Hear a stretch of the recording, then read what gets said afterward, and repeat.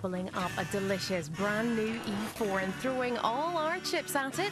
So how's about we start it all off with a big bang? Anyone else peckish? Mm.